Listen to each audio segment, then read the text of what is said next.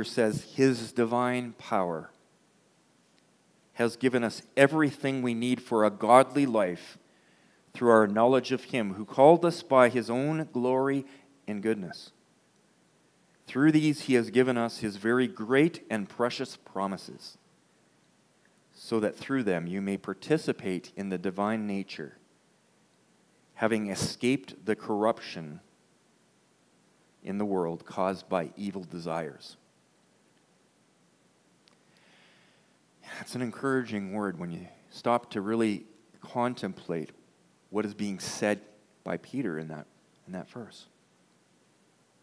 God hasn't just given some of what we need, He hasn't just come to a certain point and, and then cast us out on the road of life alone. God has given us everything that we need for godly life through our knowledge of Him who called us by His own glory and goodness.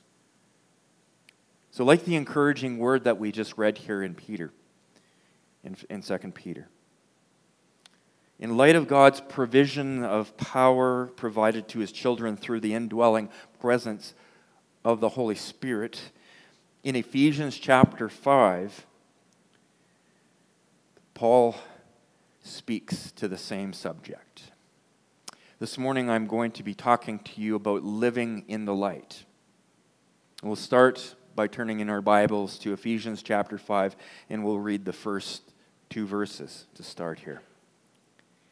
So, Paul says, Follow God's example, therefore, as dearly loved children, and walk in the way of love, just as Christ loved us and gave himself up for us as a fragrant offering and sacrifice to God. You know, there's many good examples out there. But there's no better example for us to follow than the example of our Creator. God designed us, He knows how we operate, He, he knows the very best way for us to live. In Colossians chapter 2, 9 and 10, the Apostle Paul says, here in his message to the Colossians. For in Christ, all the fullness of the deity lives in bodily form. And in Christ, you have been brought to fullness. He is the head over every power and authority. So, in Christ, in following Christ, in patterning our lives after Him, we find the very best way to live. God is our Father, and we're loved by Him. And because we are loved by Him, He humbled Himself and became a man so that He could pay the penalty of sin that we deserve to have. The sacrifice of His own life for us met God's full requirements for sin to be punishable by death. The penalty of sin is death. But God paid that full penalty himself for us. Not because he had to, because he delighted in that. It pleased him to do so, to give of himself to us, to show his great love for us. In 2 Corinthians chapter 5:21, and I think part of that was sung this morning in our worship set. We're told God made him who had no sin to be sin for us, so that in him we might become the righteousness of God. In preparation for his sacrificial death for us, prior to dying on the cross for us, Jesus was talking to his disciples and he said this He said, Greater love has no one than this to lay down one's life for one's friends. God considered us his friends, even while we were still sinners. He considered us his friends and laid down his life out of his great love for us. You know, I know we talk about this all the time, and, and almost every Sunday we come to church, we reflect on this. This isn't old, this is new. We have to constantly remind each other of the goodness of God and the love of God that has been poured out on us. Love that we didn't deserve, but nonetheless has been given. So, in realization of this, imitate, in imitation of Jesus, Paul says that God desires us to live a life walking in the way of love towards Him and towards others, just as He walked in the way of love towards all of us. And the love that Paul encourages the saints to live by and live in imitation of is defined in 1 Corinthians chapter 13, 4 to 7. We all have read this if we've been a Christian for a long time. We've read this, but let's be reminded this morning, leading into what we're going to be talking about here living in the light. Love is patient, walking in the way of love. Love is patient. Love is kind. It does not envy. It does not boast. It is not proud. It does not dishonor others. It is not self seeking. It is not easily angered. It keeps no records of wrongs. Love does not delight in evil, but rejoices with the truth.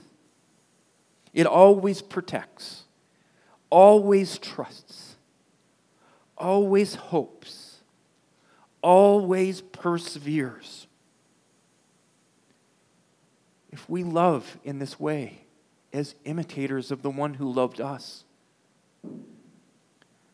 we will be treating other people selflessly in a way that builds them up rather than tears them down. I ask myself this, and you probably are asking yourself this too. How is this possible? Can we do this in our own strength? Many have tried to keep the standard. Many of us. I've tried. You've tried maybe yourself. You've tried this in your own strength. What happens when you try to do this in your own strength? You can't do it. You'll fail. The sin nature within us wrestles against the will of the Holy Spirit for us to be like this we must yield our lives to the will of the Holy Spirit, and then, and only then, only then will we have the power to love others and to love God in the way that He desires us to. So when we yield to the will of the Holy Spirit, we turn away from the old pattern of living that's resident within our sin nature and when and we give ourselves over to this new holy nature birthed within us when we submitted our lives to Jesus Christ. And some have said that because God has given us grace, now we have license to pursue sinning. Because our sins have been paid for by Jesus, He covers over our sin, so we shouldn't have to be worried about that. We just live how we want, and God will take care of us. Paul speaks to this kind of reasoning in Romans chapter 6 2 when he says, By no means shall we live this way. By no means. We are those who have died to sin. How can we live in it any longer? The scriptures teach us that the desire to continue in sin shows that we have a misunderstanding of God's abundant grace and a contempt, really, for the sacrifice that Jesus made for us. And when we look at things this way, we're not walking in the way of love. The opposite of love is hate. Love for God does not, according to the 1 Corinthians 13 definition, does not dishonor him. It does not dishonor others. Love for God is not self seeking, love for God is other centered. Love for God does not delight in evil. And this is why Paul continues in our text today to say this. And the reason I've spent so much time on this this morning, people, is there is a very important thing that I, I think we need to have sober minds about. I fear, and I'm going to launch into this a little bit because I fear that certain folks have been raised in the church, have gone through church, and have never really understood the love of God. They've never really given their hearts over. This is an important thing. We can go through our lives going to church. We can go through our lives going to Sunday school and really have, have never come to know God. Yeah, we know all about Him. Some people have never come to know God and they've been in the church their whole life. And this morning we're going to talk about sin. And how it's not God's plan for us to continue in it. It says in verse 3 of our, of our text this morning But among you there must not even be a hint of sexual immorality or any kind of impurity or greed, because these are improper for God's holy people.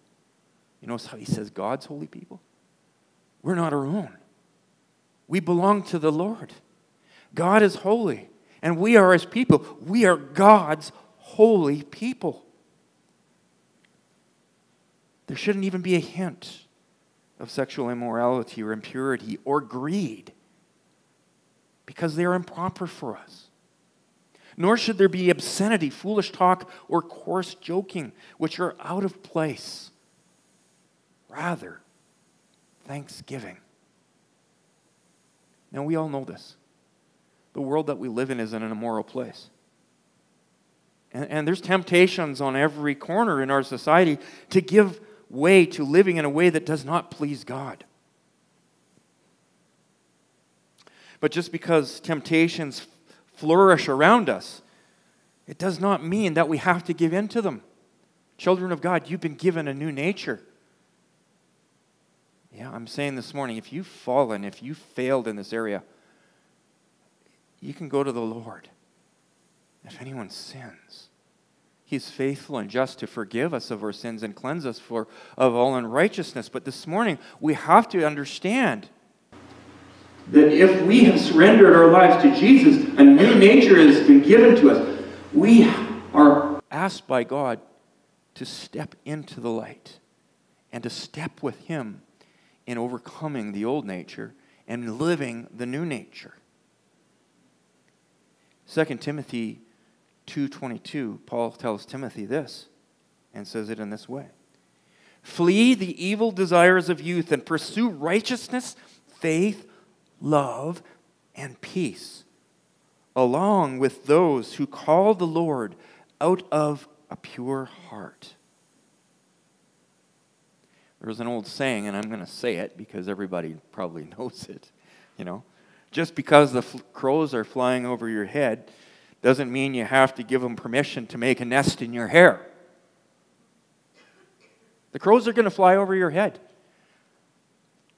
In this case, the sins that abound in the society because our society is full of it.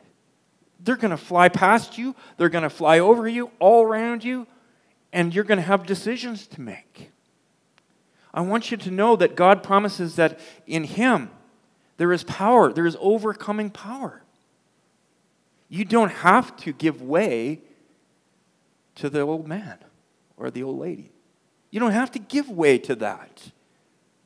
Greater is he that is in you than he that is in the world. Who overcomes? It is those who are bought by Christ's blood and have been cleansed and filled with the Holy Spirit.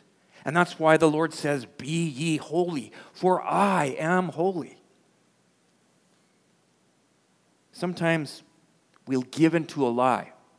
The devil's a liar. Always has been, always will be. He's the father of all lies.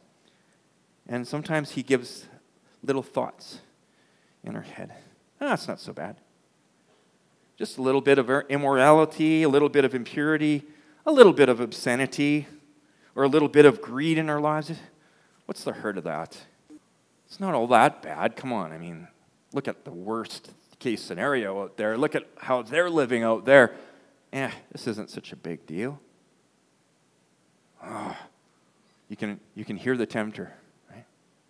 Being too good is too boring. Being too good is too boring. Don't be too good. Just be sort of good. Have a little bit of fun with sin. My friends, the Bible teaches us that sin is deceitful. Sin is a deceiver, just like the father of sin is a deceiver. Sin lies to us, telling us that somehow yielding to it will enrich our lives and make them somehow better. The writer of the book of Hebrews tells us in Hebrews chapter 3, 12 to 14, he says this. He says, See to it, brothers and sisters, that none of you has a sinful, unbelieving heart that turns away from the living God, but encourage one another daily as long as it is called today, so that none of you may be hardened by sin's deceitfulness. The Bible also teaches us that sin is like yeast that gets mixed in with a batch of bread. And the yeast spreads. It just takes a little bit of yeast, but it spreads throughout the whole batch. And, and we're lying to ourselves if we think that we can keep a little sin little. The problem with allowing a little sin to roost is that it doesn't stay little. It spreads like yeast through bread dough in our lives and it, and, it, and in the lives, it, it can affect the lives around us, the people that are touching us too, like the people that are in our lives. for believers that are compromising, so many believers, so many believers, and maybe you've been in this batch too where you, you've struggled and you've been failing. So many believers are dull spiritually to God because they've compromised their standards and they've let sin get a foothold inside of them. This is not what God wants. This is not how God wants us to live. He wants us to be free of that. Paul is saying that immoral and covetous behavior is not fitting for God's holy people.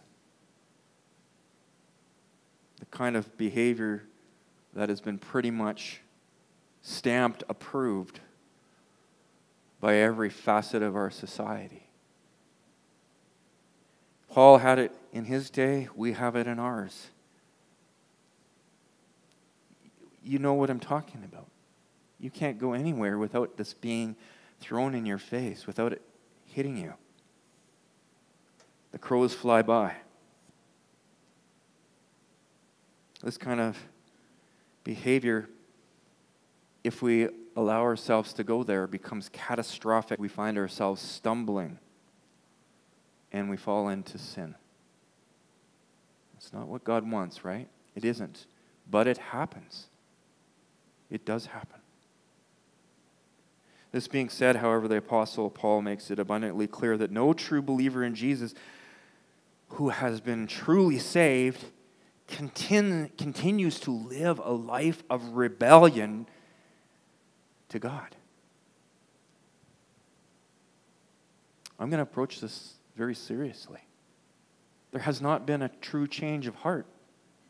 There's been an acknowledgement that Jesus is God, but he hasn't become the Lord where there's been a submission to him. Do you know that the devil himself acknowledges that Jesus is God? He does, and he, he trembles because he knows what's coming. he knows that he's under judgment. But it doesn't negate the fact that he doesn't recognize God and, and his authority over him. He knows it. So, across the nation, there's people sitting in pews all across the nation that have never really, truly been born again. There's never been a surrender. There's never been repentance. There's only been religion. Paul goes on further with this thought in verse 5, saying this. He says, For of this you can be sure, he says. No immoral, impure, or greedy person, such a person as an idolater, has any inheritance in the kingdom of Christ and of God. Let no one deceive you with empty words, for such, because of such things, God's wrath comes on those who are disobedient. Therefore, do not be partners with them.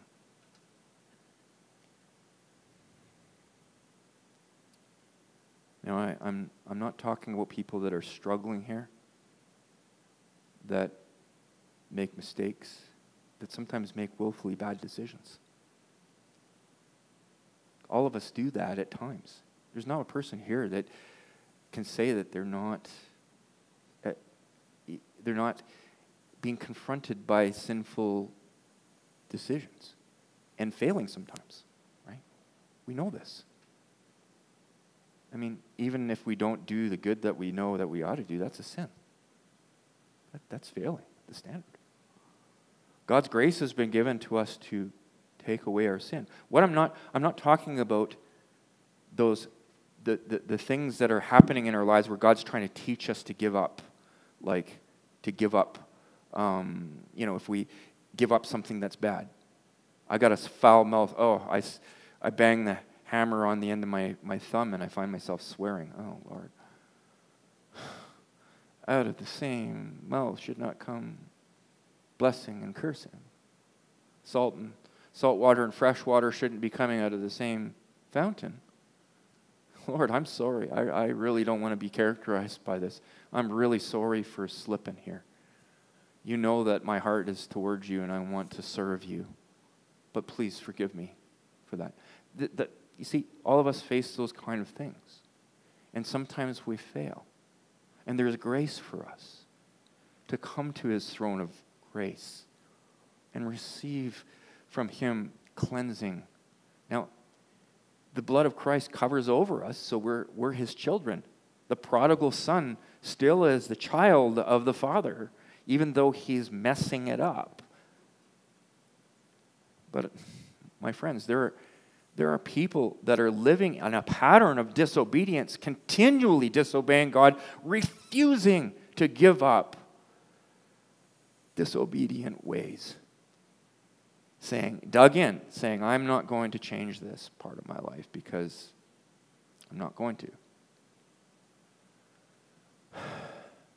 This is a sober reality.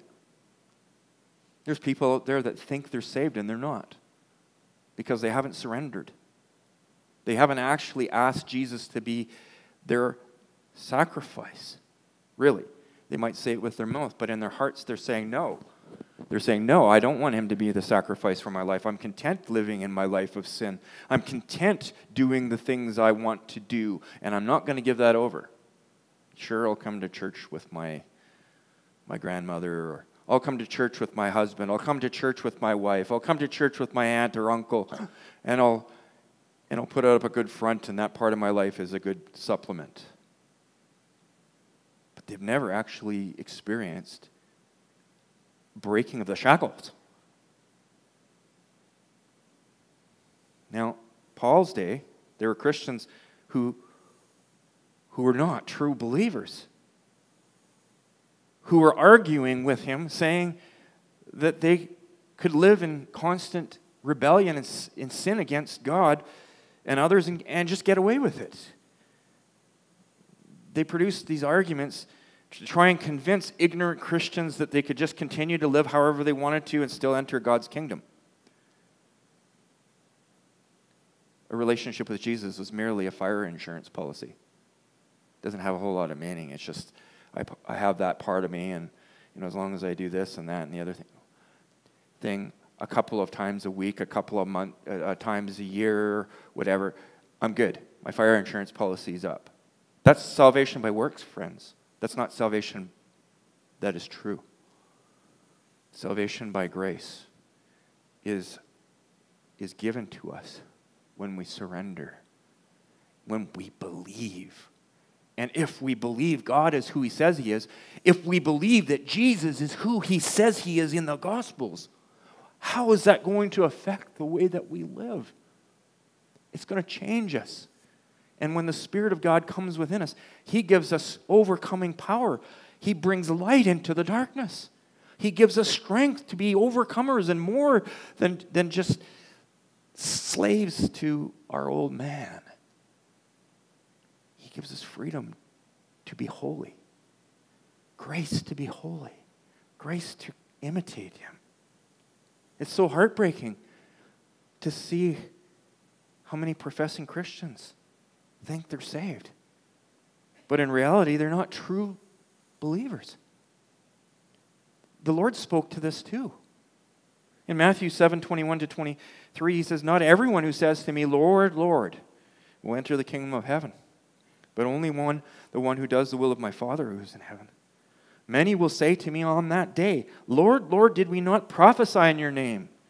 And in your name drive out demons, in your name perform many miracles. And then I will tell them plainly, I never knew you. Away from me, you evildoers. To be a professing Christian who acknowledges Jesus with their lips but denies, denies him by their lifestyle, the truth of the matter is this if our lives are not truly surrendered over to him, do we? Have we ever really known the Lord? Has He ever really known us? Have we had that at one that atonement experience with Him? That comes with a heart that yields? If, if we believe and we confess with our mouth, we will be saved. The question is what does true belief look like? The Apostle John backs up both what Jesus says, what the Apostle Paul says. The Apostle John says this in 1 John 3 5 to 10. But you know that he appeared so that he might take away our sins. That's beautiful. And in him is no sin. No one who, who lives in him continues sinning. No one who continues to sin has either seen him or knows him. Dear children, do not let anyone lead you astray. The one who does what is right is righteous, just as he is righteous. The one who does what is sinful is of the devil, because the devil has been sinning from the beginning. The reason the Son of God appeared was to destroy the devil's work. No one who is born of God will continue to sin because God's seed remains in them. They cannot go sinning on sinning because they have been born of God. This is how we know who the children of God are and who the children of the devil are. Anyone who does not do what is right is not God's child, nor does anyone who does not love their brother or sister. Those are God's words. Those aren't the words of this preacher here. That's God's word. Being born again means surrendering to Christ. And being filled with His Spirit means that a new man has been born in you, and the characteristics of the new man are the fruit of righteousness. Now, it's not talking about here where we stumble and we fall and we make mistakes or we make a bad call. Sometimes we find ourselves off a path and we need discipline. God disciplines those he, he, who He loves. He brings us back to the right path because He loves us and He disciplines us. And if we're not disciplined by God, we're not His children. The reason He disciplines us is because we're struggling still through this life where sanctification is not full we're becoming conformed to the image of Christ. So we are struggling with these issues of being obedient to God and, and failing sometimes. So that's not what this is talking about. What this is talking about is a calloused person who has said, I will live my own way and I'm not going to change the way I'm doing things. I can have Christ and I can do this too. And I'm going to just keep doing it. This unwillingness to surrender heart to God in being holy as He is holy. That's what it's talking about. Someone who's calloused and hardened and saying, No, I'm just going to do what I want to do, and I'll keep my Christianity over here on this, on this page, and I'll have my sin over here on this page, and nobody can tell me different. Have you seen this rock the church in the past? I have. Oh man, this, this is just so destructive. You see it broken people, broken families, broken promises. Just, it's everywhere. And God's like, it doesn't have to be that way, folks. Paul, this is why Paul is talking about this. Live in the way of love. Why? Because love honors. Love doesn't delight in evil, but rejoices in the truth. So Paul's saying, be on guard against this, friends. Be on guard against this. We can't go judging other people. You know, this, this, this message isn't just for us to sit there and go, yeah, I remember Sally, or I remember Joe. Oh, yeah, they were really kind of flaky. Yeah. No, this, that's not what this is about. You see, nobody knows the heart of another person outside of God. This is a sober, uh, a sober reminder for us to evaluate what's going on in the fruit of our hearts. Only you can say where you are. I don't know. Sometimes people can put masks on, right? Where is our heart? That's what's being asked here. If our hearts are living in darkness, rebelling against God, but claiming to be in the light, some people come to church because it's a good business uh, place to get business. Right? Good place to get some sales. Good, good for my my. Uh, you know Folks, this is serious. God, God's appealing to people that maybe have a form of godliness, but they don't know Him. This is an appeal. It's time to stop the charade. It's time to come full term, full circle, and surrender. Surrender because He loves you. And there's forgiveness in His arms. His nail scarred hands reach out to you and say, I've, I've loved you. And I'm inviting you to come to know me and to give up this charade. It's time to be true. It's time to be pure. It's time to let me flush it out. You can't, because I, never to, some people come to church, they say, oh, I, I can only go so far in my Christianity because I, I'm not good enough. No, you're not good enough, but God is good enough to help you, to transform you, to give you a new heart. You can't put on a new heart. So don't, don't try any longer. Let go of that. Come to the Lord. Come to the altar. Come to Him. His arms are open wide. He loves you. He doesn't want you to perpetually live in this charade. He wants you to live in freedom.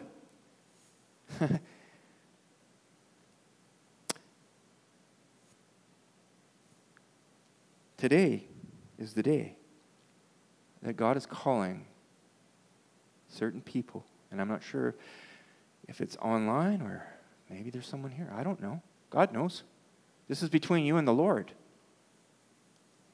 It's time for us to repent if we've been living in this pattern. Today is the day of surrender. Today is the day where you can be set free because whom the Lord sets free that person is free indeed. Free indeed. Shackles drop off under the power of God. When we yield to the Lord, shackles fall. Freedom is, it, we're talking about freedom and Remembrance Day and all that. Well, in spiritual terms, freedom has been won for us through Jesus. We don't have to live as slaves to the, to the, the cravings of our old nature any longer We can be free. For you were once in darkness, Paul says in, in verse 8 of our text. But now you are light in the Lord. Live as children of the light. You see that? You are light of the Lord. You are light in the Lord. Why are you light in the Lord? Not because you're so great, not because you're such a shiny example of sainthood. It's because the Spirit of the Lord lives inside of you, and He is holy, and you are the lamp that He lives in. And your, your, your, your, your heart attitudes and your, your life ought to reflect what's inside. Live, just be yourself in the Lord. Let His Spirit live in you. Let His Spirit encourage you to get out and to be the salt and light that He's called you to be. Nothing can stop that. He's given you everything you need to live a life that is holy and godly. Live as children of the light, for the fruit of light consists in all goodness, righteousness, and truth. And find out what pleases the Lord. How do you know what pleases the Lord? His word shows it. Hunger and thirst for righteousness. Take your Bible off the shelf. Or if you got it in your phone, type in Bible Gateway and get into the Word. And the Spirit of God will show you new things. You can grow even if you've been a Christian for 70 years. Hungering and thirsting for righteousness, you don't have to be dull because it's been so long. You can be fresh in the Lord, and He can be giving you new insights. His word is truth, and it's power, and it's life. Have nothing to do with the fruitless deeds of darkness, but rather expose them. It's shameful even to mention what the disobedient do in secret. But everything exposed by the light comes visible, becomes visible, and everything that is illuminated becomes a light. This is why it is said, Wake up, sleeper, rise from the dead, and Christ will shine on you. Let your light shine, saints. Let your light shine. Not because your good works are what earn your salvation, let your sh- light shine so that they may see your good works. Because good works flow from the Holy Spirit and glorify your Father in heaven. This world is living in darkness. We need to be the light of the world that He's called us to be. Push away. Have nothing to do with the fruitless deeds of darkness. He's given this new nature to you, the capacity to do what is right and to do what is good a capacity that was meant to love your Savior, to love Him and honor Him and live for Him, and to love others that God's placed around you, whether they're non Christians out in the community or whether you're brothers and sisters in Christ. He's given you the capacity to love them. And don't give the devil a foothold. But shine your light, expose the deeds of darkness for what they are, and have nothing to do with them. Come to an understanding what this, you know, there's so much compromise out there. Oh, well, you know, you know, maybe it's like, oh. hey, if your conscience is pricked by the Holy Spirit, don't justify it. Stay away from it. Have for me in my house, we're going to serve the Lord. We're to, we're not going to have anything to do with this. And don't, don't let your battling conscience because the enemy is there, your flesh is there. Oh, well, you know, a little bit of sin makes it a little more interesting in life, right? No. Lie. Lie. Lie that leads to spiritual destruction and, and dullness and pain and suffering on all fronts. So then Paul says in verse 15, he says,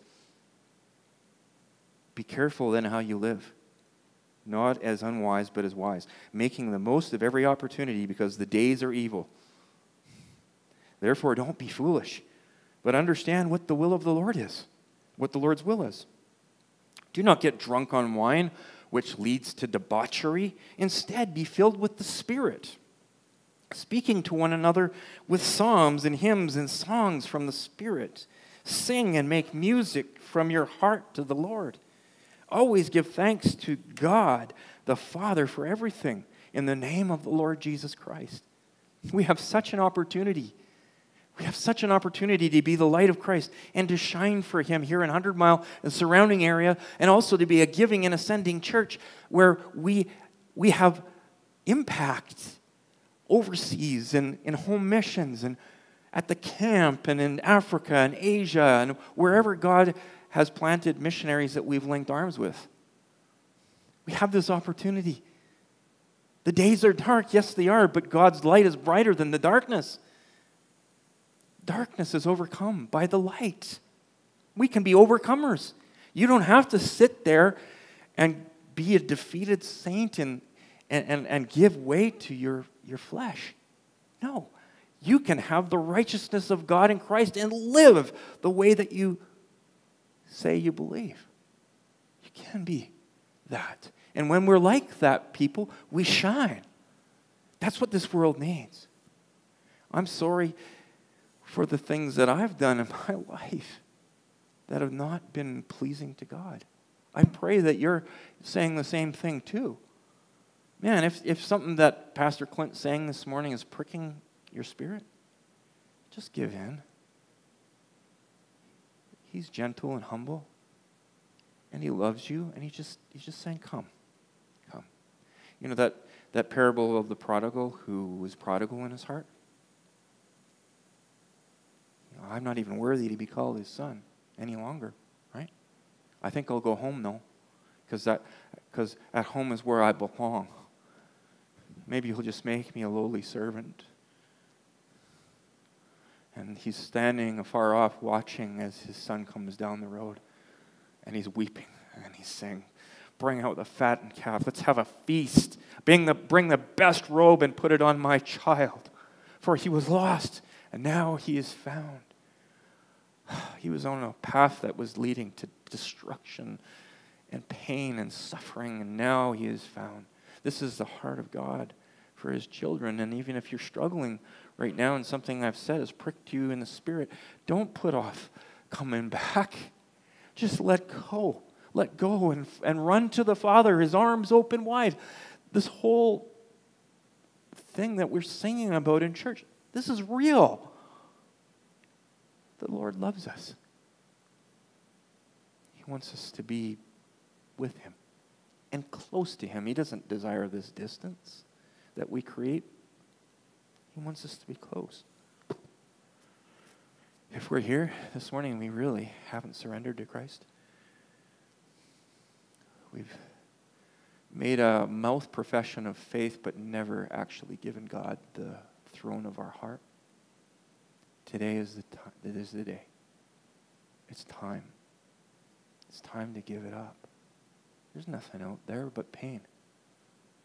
Michael W. Smith sang a song once when I was a kid, and I remember hearing it. I'm dating myself, right? All you're missing is a heartache, a disillusionment for a keepsake.